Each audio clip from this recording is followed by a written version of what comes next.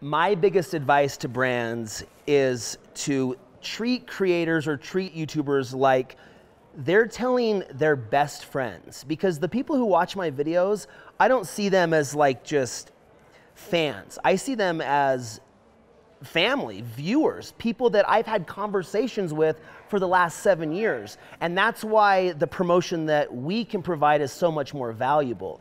It's it's literally the best type of advertising, which is what? Word of mouth right? If you can get somebody to go tell their buddy that that movie was great, you should go see it, or I had a burger at this place and it was so good. If somebody's friend tells them a place is good, that's the most valuable type of advertising you can get, obviously, because you trust your friends, right? You're like, he's my good buddy. Why he has no no alibi or no motivation to make me go to this place. He's just telling me something was cool. I want to go to something that's cool, so I'm going to go to this thing.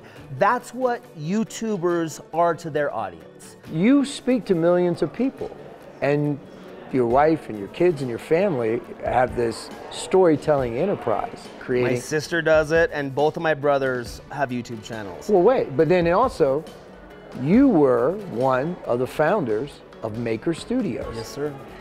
So yeah. it wasn't enough for the family to be making. You had to you had to extend it even more. My friends that I met, yeah, they're just friends that I met on YouTube.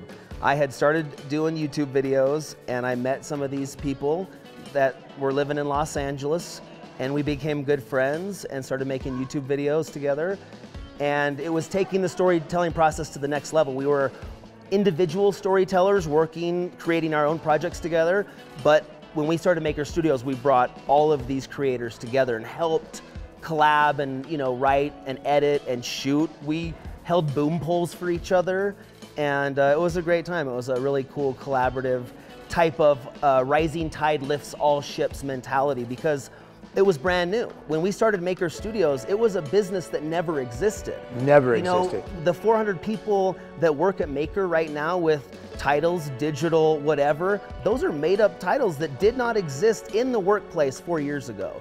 So when we were starting the business, it's like there's no business plan to base this off of. We're just figuring this out as we go. Like nobody's ever made content and made money in this way with a digital production or a digital distribution platform like YouTube.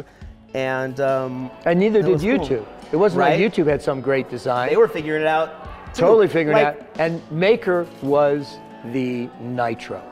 It was the very first. Well, the, one of the guys who started the YouTube Partner Program, George Strompolos, is in this room over here. He's, you know, one of the CEOs. He's a CEO of Fullscreen. So, thanks to him, I can make YouTube videos and get paid for it.